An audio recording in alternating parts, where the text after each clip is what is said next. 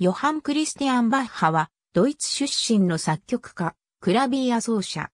J.S. バッハの末の息子で、イタリアでデビューした後、主にロンドンに住み、オペラ作曲家として、及びコンサートの開催によって、名声を得た。バッハ一族で唯一のオペラ作曲家にして、生前に国際的名声を得た音楽家である。兄、カール・フィリップ・エマヌエルがハンブルクにおいて、テレマンの後継者になったように、ヨハン・クリスティアンはロンドンでヘンデルの後継者となった。そのことから他の一族と区別するため、ロンドンのバッハとも言われる。バッハ一族には彼の他に同じ名前の人間が二人いたが、二人とも音楽家にはならなかった。ヨハン・ゼバスティアン・バッハの第十一男としてライプツヒに生まれる。父親からだけでなく、おそらく父親のマタイトコ・ヨハン・エリアス・バッハからも音楽教育を受ける。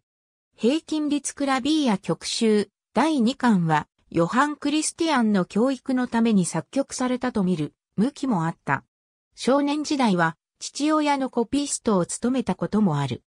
1750年に父親が他界すると、ヨハン・クリスティアン少年は、フリードリヒ大王とその妹アマーリエ王女に仕える、ベルリンのイボアに、カール・フィリップ・エマヌエルの家庭に引き取られ、音楽を中心に教育を受ける。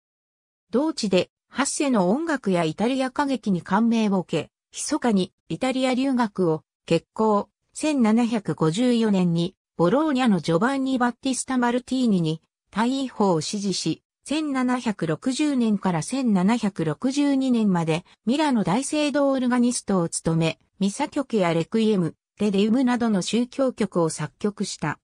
1757年にルター派からローマカトリックに改宗、また1760年にはトリノで最初のオペラ、アルタセルセが初演された。1761年にはナポリでウティカの加藤、1762年1月にはインドのアレクサンダーを上演し、いずれも成功を収めた。台本はすべてピエトロ・メタスタージオのものであった。これを機に、ベネツィアやロンドンからさらにオペラ創作の移植が舞い込むようになる。1762年にミラノ大聖堂に対して1年間の休職を申し出て投影したが、そのままロンドンに住んだ。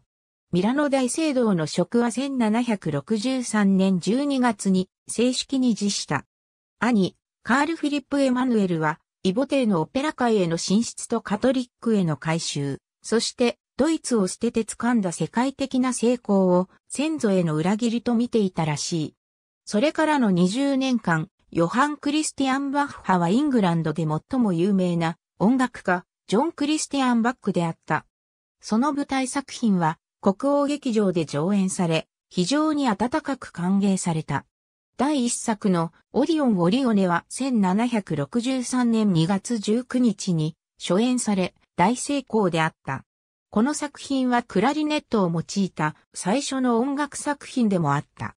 国王劇場では同年ザナイダを1765年にシリアのハドリアヌステを1767年にカラクタクスを上演している。ヨハン・クリスティアン最後のオペラセリア、スキピオのジヒラ・クラメンザ・ディシピオネは、ロンドンの聴衆に何年間も人気があり、モーツァルトの皇帝ティートのジヒラ・クラメンザ・ディティトと興味深い類似点を見せている。ヨハン・クリスティアン・バッハは、イギリス王妃、シャーロット専属の音楽師範となり、王妃並びに王子、王女たちに音楽の稽古をしたり、国王ジョージ3世がフルートを吹くときに伴奏することが任務となった。1764年から父親同士も親友であったカール・フリードリヒ・アーベルと共に定期公演を催すと、たちまちロンドン聴衆の流行の娯楽の一つとなった。この連続演奏会は質が高く、バッハの没する1782年まで長年続けられたためにヨーロッパの公開演奏会の発達に重要な働きをした。バッハとアーベルはジョバンニ・ガッリーニと共に1774年にハノーバースクエアルームズを建て、ここでコンサートを行った。バッハの没後は、バイオリニストのビルヘルム・クラーマーを中心として、同じハノーバースクエアで、プロフェッショナルコンサートがその後継として開催されるようになった。このプロフェッショナルコンサートのライバルがヨハン・ペーター・ザーロモンのコンサートであった。しかしハノーバースクエアの建設にかかった多額の費用によりコンサートは負債に苦しむようになった。ヨハン・クリスティアン・バッハはピアノの演奏で知られ、チャールズ・バーニーによると、すべてのハープシコード製造者がピアノの機構を試してみるほどの影響を及ぼしたという。1772年にはマンハイムに呼ばれて新作オペラ、テミストクレを上演し、成功を収めた。1776年でもマンハイムでルーチョシルラを上演している。1764年、父レオポルトに連れられてロンドンを訪れていたモーツァルト少年と仲良くなる。モーツァルトはヨハン・クリスティアンから華やかで魅力的な表現や響きを学び取ったのだと研究者から指摘されてきた。モーツァルトのピアノソナタのギャラントな作曲様式はヨハン・クリスティアンのそれに影響されている。また、クリスティアンの作品6の交響曲のうちト単調の作品は、モーツァルトの2つのト単調交響曲の先触れとして注目されるようになった。また、モーツァルトは1770年頃にヨハン・クリスティアンの6つのピアノソナタ作品5の第2、3予曲を3つのピアノ競争曲計107に編曲している。1778年、パリの王立アカデミーから新作オペラ上演の契約を得たヨハン・クリスティアンはフランスを訪れ、パリ郊外のサンジェルマン・アンレイで給食活動中のモーツァルトと再会した。モーツァルトは父レオポルト宛ての8月27日付の手紙でも、再会をお互いに喜んだことについて触れており、これが二人の最後の出会いとなった。この時ヨハン・クリスティアンが作曲していたオペラは、翌1779年にパリで初演されたゴールのアマディ、 Amadis de Gaule であり、これは彼にとっても最後のオペラとなった。パリからロンドンに帰ったヨハン・クリスティアンのもとに兄のヨハン・クリストフ・フリードリヒ・バッハが訪れ、息子のビルヘルム・フリードリヒ・エルンスト・バッハを弟子入りさせている。このロンドン訪問は、ヨハン・クリストフ・フリードリヒ自身の音楽にも大きな影響を与えた。順風満帆に見えたバッハとアーベルの定期音楽会であったが、1780年代に入ると人気が低迷し、二人は多額の負債の返済に奔走することとなった。1782年の元日、ロンドンで急逝。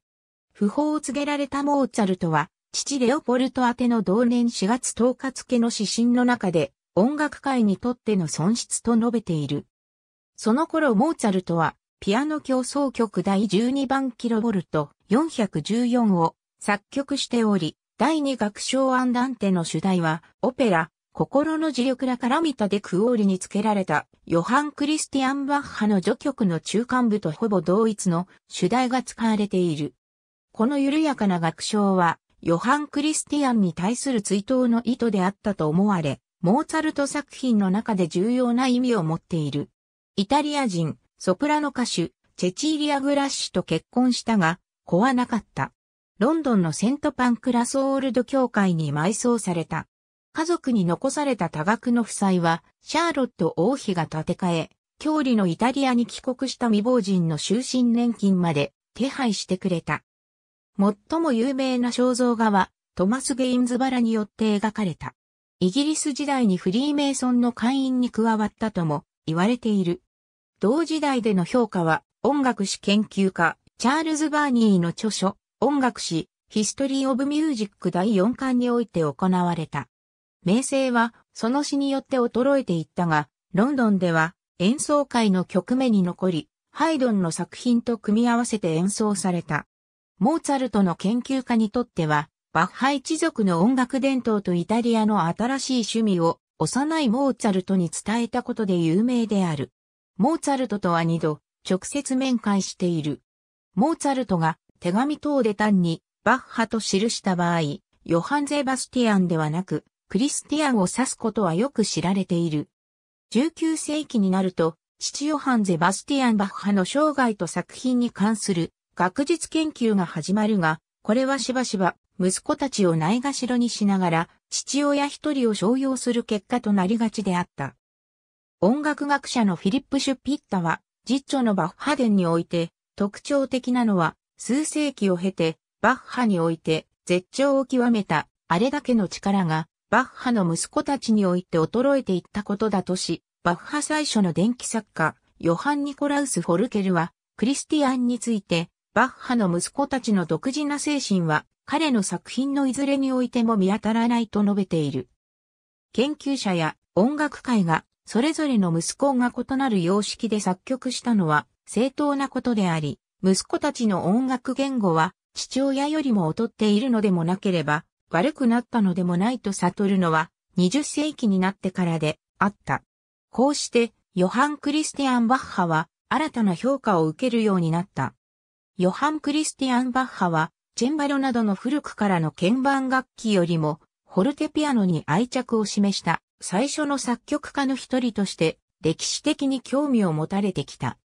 ヨハン・クリスティアンのベルリン時代の初期作品、例えば、チェンバロ競争曲へ、単調は、時系カール・フィリップ・エマヌエルの影響を受けていたが、イタリア時代の中期の作品は、ジュゼッペ・サンマルティーニに影響されている。ありがとうございます。